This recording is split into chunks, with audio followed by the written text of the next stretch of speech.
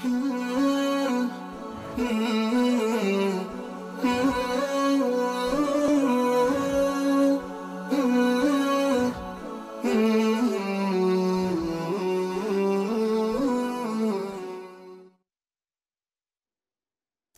الله والصلاة والسلام على رسول الله. أهلا وسهلا بكم مشاهدينا الكرام وإن شاء الله أيامكم كلها بالخير واليمن والبركة تمر عليكم وبيوتكم دائما خالية من المشاكل وحياتكم دائما سعيدة وممتلئة بالتغيير وما زلنا مصرين على التغيير اللي إحنا إن شاء الله حنستمر فيه مع بعضنا لأن نصل ببلدنا العظيم بإذن الله إلى أعلى المراتب اللي إحنا كنا نحبوها ونتمنوها إلى أن نصل بأجيالنا الجديدة إلى أعلى المستويات الفكرية والعلمية والثبات على شرع الله بإذن الله.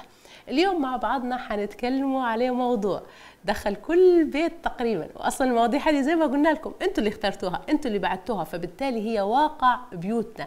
الموضوع اللي هو الصراع الدائم والمستمر بين من الغلط ومن الصح الزوجة ولا أهل الزوج؟ الصراع اللي جعل الرجل دائما يدور في دوائر لا يدري أي أي المشكلة ولا مع من يقف مع زوجته ولا مع أهله. بإذن الله مع بعضنا حنشوف اليوم في حلقتنا كيف ممكن خاصة إن إحنا في هذا الشهر الفضيل إن تكون العلاقة أفضل إن الود هو اللي يطغي على علاقاتنا إن نحول هذه العلاقة من صراع ومعركة مستمرة إلى ود. ومحبة وإيثار اليوم سؤالنا اللي توجهنا به للجمهور هو من الغلط الزوجة ولا أهل الزوج؟ وكيف ممكن إن إحنا نصلحوا المشاكل ونقللوا من آثارها في حياتنا؟ يلا مع بعضنا نشوفوا رأيكم بالخصوص. إيه خصوصية ما بين الزوجة والزوج؟ يعني خصوصية ضروري إنه أهل الزوج ما يتجاوزوش يعني الحدود يعني الاجتماعية حسب الأعراف اللي إحنا كعرب ومسلمين يعني لازم يكون في فصل في العلاقة ما بين الزوج وزوج ما بينهم وما بين العائلة. تكون العلاقة في كان في الاحترام و وتكون يعني ما فيهاش يعني خصوصيات اللي تضر يعني في العلاقة. وأنا حسب نظريتي اللي شبحتها في المجتمع يعني التردد هلبة على العائلة ممكن يضر بالعلاقة يعني بالدرجة الأولى. وثانيا المشاكل الاجتماعية هي تردد أغلبيتها يعني مراجعة للظروف الاجتماعية يعني المادية السكن.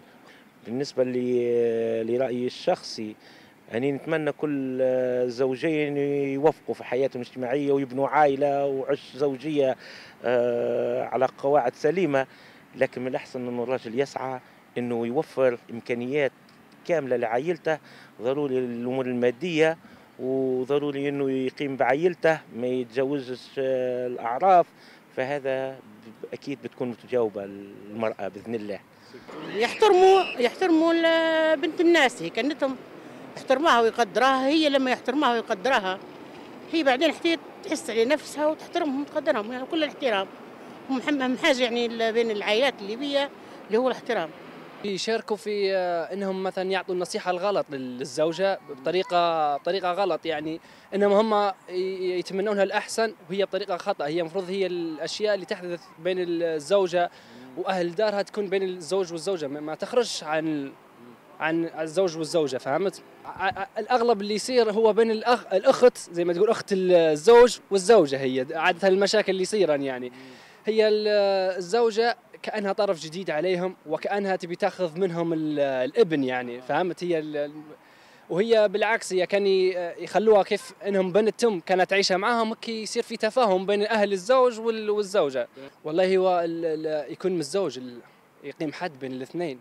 هو أهل الزوج يقولوا معاملوها بلطف وكذا وهني كأنها بنتكم والزوجة كذلك ما تديرش مشاكل ما تحاولش إنها تبعد هني اولادهم عليهم يعني. الزوجه هي المسؤولة. إيه.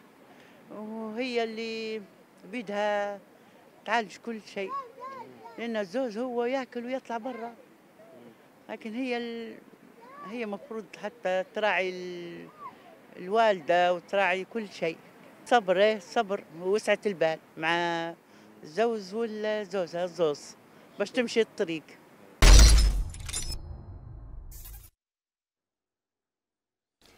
شفنا آرائكم الجميلة جدا واللي أنا الحقيقة استوقفني العديد منها. أول حاجة أن لاحظت اختلاف الآراء على حسب الأعمار. يعني شوف السيدة الكبيرة تشوف أن لا الزوجة هي اللي في يدها الحل. الشاب كان رأيه جميل جدا وتركيزه أن المشكلة تكون عادة دائما هي صراع أسري. بحد بغض النظر أنه هو حدد بين الأخت تحديدا والزوجة.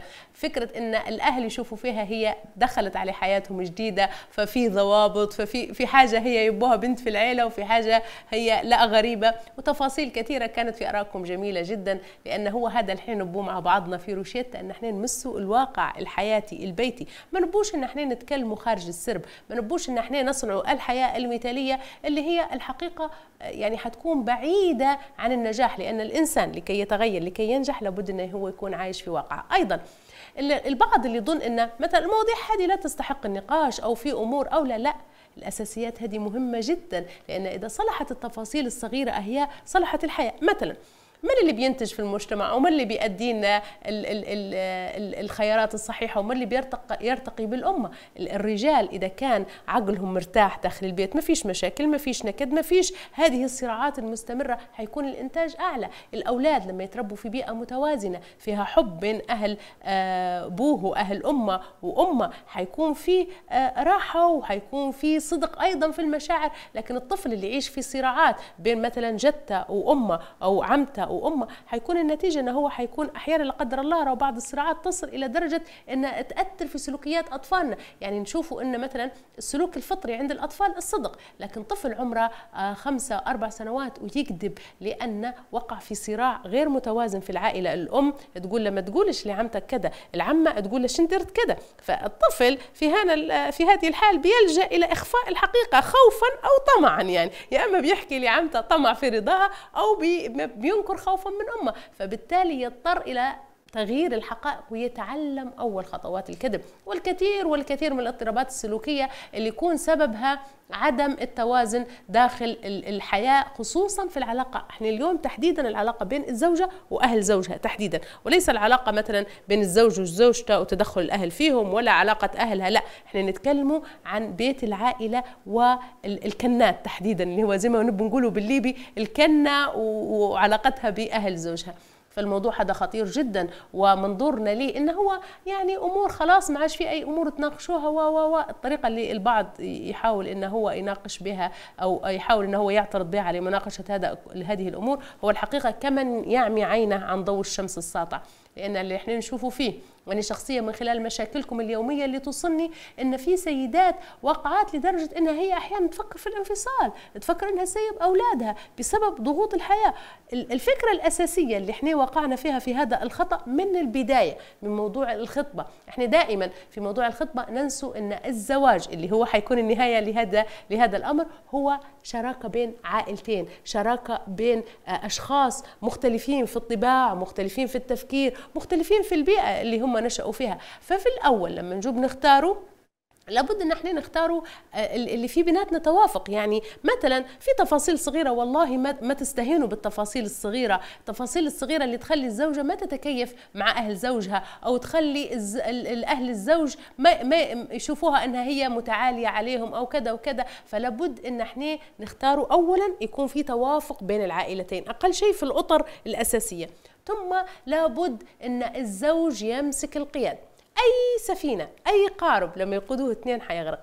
الزوج هو القوام قوام على على على زوجته وهو وهو وهو قوام على إخواته وعلى أمه. بالتالي هو يقدر يمشي المركب في الطريقة الصحيحة بأن أول حاجة العدل ثانيا عدم المقارنة. ما تجيش تقول لي أمك زوجتي دارت كذا ولا لزوج لزوجتك أمي دارت كذا. الخصوصية في حياتك أنت كزوجة الخصوصية في حياتك عن أهل زوجك مش معناها روح هنا ندعو إلى البعد والجفاء لا. لكن أحيانا انت لما جيت تحكي بعض الأمور تغار الام تغار الاخت وهذا احساس طبيعي انكارنا ليه هو الكارثة. الفكرة ان إحنا ننكره لا لا أنا ما غارش من كنتي لا لا أنا ما غارش من ام زوجي لا لا لكن هي الحقيقة والفطرة الطبيعية للنساء موجودة الغيرة وإن كانت بدرجات يهذبها الخلق يهذبها الدين لكن موجودة انكارنا عنها لا يخفيها. فعلشان هيك لابد كل واحد فينا يحترم خصوصية الآخرين. أنتوا تحترموا خصوصية يعني نقصد الأهل يحترموا خصوصية زوجة ابنهم وزوجة الابن تحترم خصوصية أهل زوجها. وأيضا لابد إن إحنا ننهي موضوع المحاسبات. فعلت ما فعلت اتت ما أتت جت ما جت رمضنت معانا آه، إحنا في رمضان. آه، فطرت ما فطرت لا. خلوها الأمور تجيب المحبة. حاولوا إن إحنا دائما ننظروا إن إحنا مش مش في حالة حرب ولا في حالة تنافس على هذا الزوج. يعني انت أخوك وانت زوجك وانت ولدك. المثلث هذا لابد أنه يتحول إلى دائرة. ندوروا فيها كلنا بالمحبة والخير وحبوا لأنفسكم اللي تحبوا للآخرين. يعني انت كأم حبي لمرت ولدك اللي تحبيه لبنياتك. وانت كأخت حبي لزوجك اللي تتمنيه لروحك مع زوجك. وانت كزوجة شوفيها هذه كأن أمك. اللي تدير لها مرت خوك. وأختك هذه وأخت زوجك اعتبريها أختك. كيف تحبي أنت مرت خوك تتعامل معها ممكن أنتم تشوفوا هيك انه شنو هذا الكلام؟ يعني هذا إحنا كلام كنا عارفيننا وفاهميننا في الحياة لكن قداش نطبقوا فيه؟ قداش إحنا ماشيين دفة الحياة داخل بيوتنا بمحبة وود. بالله عليكم خاصة إحنا في هالشهر الكريم. قداش بيوت فيها نكد. الآن الآن وأنا نتكلم معاكم متأكدة إن في الكثير من البيوت فيها نكد فيها مشاعر للأسف سيئة أثرت حتى حتى على تربية الأولاد زي ما ذكرت لكم من البداية بسبب هذا الخصام اللي ماليش أي داعي. لو بس نفهموا الحقيقة في تفصيلة العلاقة إنها هي لابد إنها تكون تكاملية وليست تنافسية. حنقول تدريبنا اليوم مع بعضنا. الزوجة وأهل الزوج. أنتوا الزوج ده بكل واحد فيكم. يعني انت كزوجة وانت كأم وانت لو في أخوات أنتوا يا أخوات الزوج. نبي كل واحدة فيكم تتذكر آخر موقف خصام صار. وإن شاء الله يا رب العالمين ما فيش مواقف خصام وإن شاء الله ما تتذكروش تتذكروا بس الود والمحبة. لكن خلينا نكون واقعيين. آخر موقف بغض النظر عن شدة. وحاولي إنك أنت تكتبي تفاصيله أو تشوفي من اللي بدي من اللي غلط. وخوني زي ما قلنا التقييم الصحيح للذات هو سبيل التطور. أي إنسان ينكر ويحاول أن يطلع الخطأ في الآخرين عمره مش حيتغير عمره مش حيكون ماشي خطوة لقدام. خلينا نكون منطقيين في تقييمنا وكل واحدة فينا تشوف وين الغلط أنا اللي غلطت ولا هي اللي غلطت. وإذا كان أنا اللي غلطت إحنا توا في شهر التسامح. قوي قلبك. إنويها لله. بري قولي سامحيني وخلنا نبدأ صفحة جديدة. إذا كان هي اللي غلطت إنويها برضه لله وسامحيها قولي لها خلنا نبدأ صفحة جديدة. وحتشوفوا كيف الحياة حتكون جميلة ومريحة لأن الحقيقة اللي قاعد يصير كله يرد على كل الأطراف بالسوء وينتهي العمر وإحنا في غيظ وإحنا في كدر وإحنا في حالات سيئة يعلم بها الله سبحانه وتعالى. فبالله عليكم أيتها السيدات اللي موجودات في البيوت سواء كنت زوجة سواء كنت أم سواء كنت أخت لهذا الزوج خلوا دائما الحكم الصحيح والوعي الذاتي بأخطائنا هو أساس تغييرنا في إصلاح هذه آه، العلاقة. زي ما تعودنا روشيتا بسيطة وسهلة تساعد كل واحد في أنه هو يقدم بهذه العلاقة للأمام، بس اليوم روشيتتنا حتكون فيها للزوج نصيحة وللزوجة نصيحة وللأم نصيحة، خلينا نشوفوها مع بعض.